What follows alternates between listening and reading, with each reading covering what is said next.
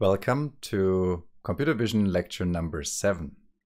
This is the last lecture in this little excursion on graphical models. In lecture number five, we've introduced graphical models and a very basic inference algorithm, the belief propagation algorithm for inferring marginal or maximum a posteriori solutions. In lecture number six, we have then seen some applications of graphical models and how we can incorporate prior knowledge about the problem into the model using graphical models. For example, in the case of stereo, we've utilized prior knowledge about the properties, the low-level statistics of depth maps, in particular that they are smooth. In the case of multiview reconstruction, we have shown that it's also possible to incorporate more complex knowledge, such as knowledge about the image formation process into the graphical model. And we have seen how inference in graphical models leads to results that respect these prior constraints that we have encoded in the graphical models. Now, all of the models that we've seen so far had some parameters. For example, in the case of stereo, we had this lambda parameter, which was adjusting the level of smoothness, the strength of the regularization, in other words. And in this lecture, we're going to talk about how these parameters can be estimated given a data set. So this is about learning in graphical models. This lecture is structured into three units. In the first unit, we're going to introduce the terminology of conditional random fields, which is crucial for learning. In the second unit, we're going to discuss the actual learning problem, first in a simple setting where the parameters up here uh, linearly or log linearly in the equations and where learning is a convex problem. And then in the final unit, we're going to talk about deep structured models where the parameters depend non-linearly uh, or appear non-linearly in the model. And we'll see also how um, we can combine or exploit graphical models in other ways uh, to benefit deep learning. Let's start with conditional random fields.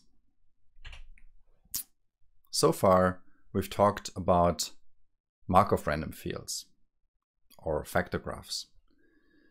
And to remind ourselves what is a Markov random field or a factor graph, well, we have in a Markov random field a distribution over random variables here very concretely. For one example, this is the example of an MRF for stereos smoothing where we have, in this example, 100 or image denoising, where we have 100 random variables.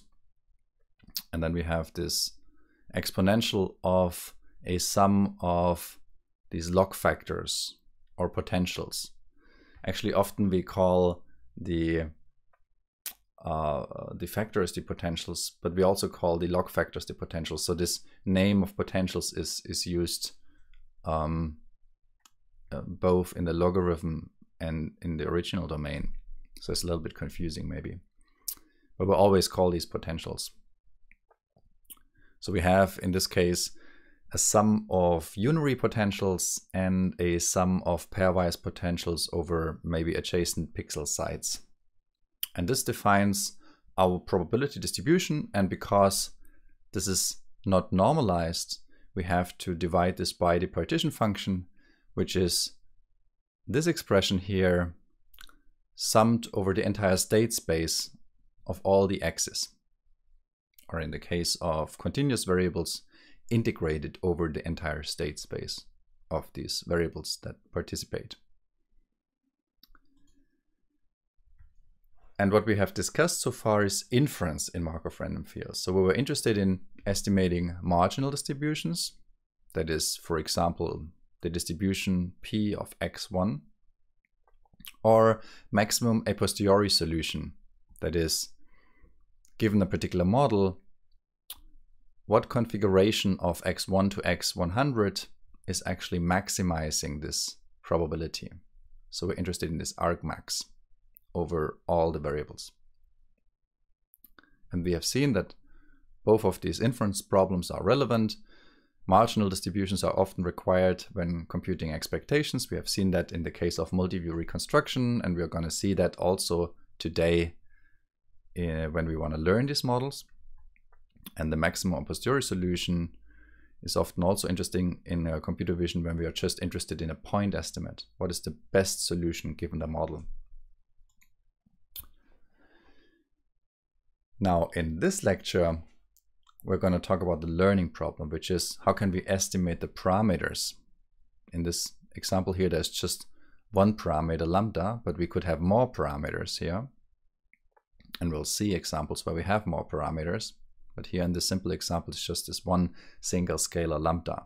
So how can we estimate that lambda from a data set? A little remark, in the literature, these potentials are sometimes defined as the negative log factors. Here we have defined them as the log factors, which means that a, a high value of a potential will lead to a high value in the probability function. Um, but often people think about these potentials as low values leading to high probabilities thinking about them as energy. But in, in the context of this lecture, it doesn't matter because we'll just consider these as generic features. So um, we can just swap design um, and define them arbitrarily. It's just basically an interpretation if we consider them as being positive and negative. And the advantage of not having the negative sign here is that the formulas become a little bit more uh, slightly easier to, to write down. So here we, we simply omit uh, the sign and, and use this definition where um, high values of the potentials imply high probability. Now, what are conditional random fields and why do we need them? Well, if we just define Markov random fields, we can define the learning problem. Um, and why can't we define the learning problem? Well, because we're only looking at one particular model instantiation. So in the example of image denoising, we're looking at one particular image that we want to denoise. And in that image, we associate each pixel with a random variable, and that's the set of random variables x. But of course, if we want to do learning, then we want to learn from a larger data set, not just for a particular instance. And that's why we want to we, we need to formulate the problem conditionally. And this is what leads us to so-called structured output learning again. We have seen this already, where we want to learn a function, a mapping f with parameters w that goes from some space x, some input space x, to another output space y. And in structured output learning, as we already know, the input, inputs can be any kind of objects, as also in regression, but the outputs, importantly, are complex structured objects. So in this case, the outputs are the x's. So we're gonna swap the name of the variables now to define the conditional random fields.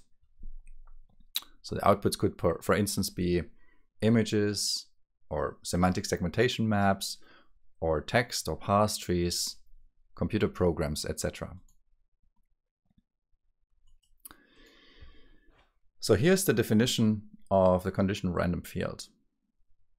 In a conditional random field, we make the conditioning of the output on the input and the parameters explicit. So instead of writing just the distribution on x, we now write a distribution of y, where the y is now the output which is what x has been before. So please be careful now because we need to swap x and y when we talk about conditional random fields. So we have a model that given a particular x, that could be uh, a noisy image produces an output y, which is the denoised image. So we make this input image x and the parameters explicit now in order to be able to apply this model on an entire data set where we want to um, learn these mappings from x to y, from noisy images to denoised images.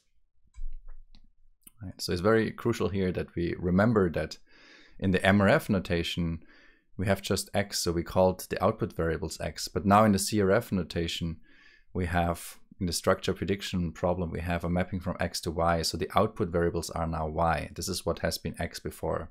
And the inputs, the noisy image, is called x. We haven't explicitly encoded a noisy image here. This was implicitly encoded in the definition of, uh, for example, the unary potentials before. But now we have this explicit so that the unary potentials are functions of the input as well as the random output variable they act on. And also the pairwise potentials are functions of the input and the output variables they act on. And similarly, of course, for higher order factors as well. So we denote the set of all input variables in a conditional random field as calligraphic X, which are from a space um, X, and the outputs as the set calligraphic Y, which are from the space Y. And learning then amounts to estimating the parameters of this model here. In this case, w is not a vector, it's just a scalar. It's equal to lambda. So we want to estimate the parameters of this model, in this case just lambda, given a data set of input-output pairs. In the case of denoising, noisy inputs and denoised outputs y. In the case of semantic segmentation, input images x and semantic segmentation maps y. So it's a supervised learning problem where we always consider input output pairs. We always have annotations for each input x. And from this, we want to infer what is the optimal parameter such that given a novel input that we haven't seen during training, we do the best possible prediction under that model. Now, this was a very specific example of a conditional random field to make the transition easy from Markov random fields. This was the example where we looked at the simple image denoising problem with the unary and the pairwise potentials. But of course, we can write this more generally. If we write this in a more general form, then we can just write, as you see here, we have just a sum of unary, pairwise, and maybe higher order factors. Um, we can just um, concatenate all these features in a long vector and then multiply this with the parameters. So there could be a parameter here, and there could be even a different parameter for every unary. So for every i, there could be a different parameter, lambda i. And for every combination ij, there could be a different parameter, lambda ij. Therefore, the general form uh, can simply be written as the inner product. These brackets here denote the inner product. I could also have written W transpose psi, but it's more common to use these brackets in this context for the inner product. So we have a parameter vector W and compute the inner product of that parameter vector W with these features, which is the concatenation of all the um, potentials, all the feature functions, these individual feature functions that we have specified in the conditional random field. And we take um, the exponential of this inner product. And again, this is of course not normalized. So in order to arrive at a proper conditional probability distribution, we have to divide by the partition function, which um, depends on the input x and the parameters w, but not on y because we are summing over y. And this also explains why this is called a conditional random field because we are modeling conditional distributions. We're modeling the distribution of the output conditional or conditioned on the input x.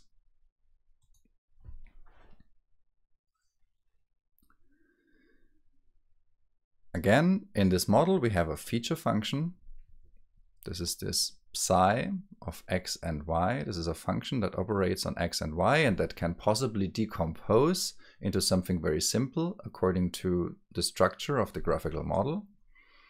And that in the general form, that function is just a mapping from the input space x and um, the um, m is the number of output variables. So we have r to the power of m because we have m output variables. And it's mapping to the feature space r to the power of d, where d is the dimensionality of the feature space. For example, w here has this vector has the size d, the size of the feature space. And the size of the feature space, of course, depends on the problem. In this case here, it would just be one.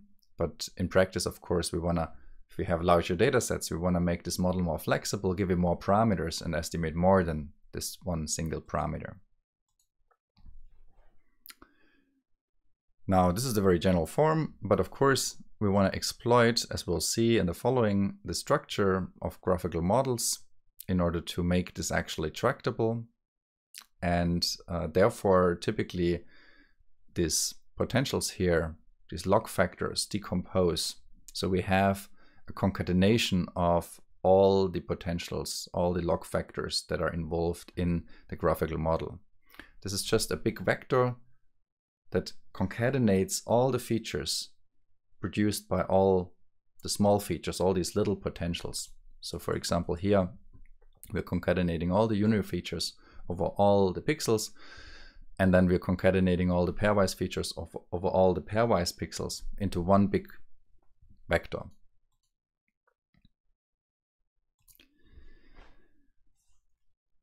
And uh, then we have the parameter vector w, which has dimensionality d.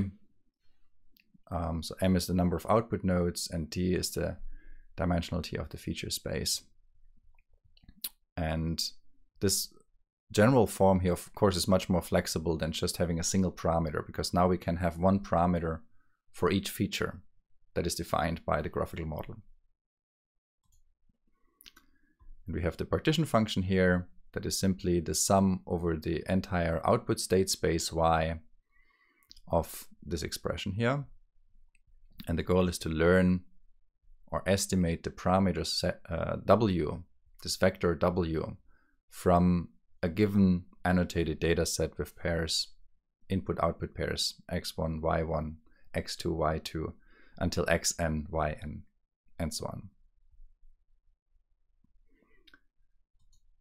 Okay,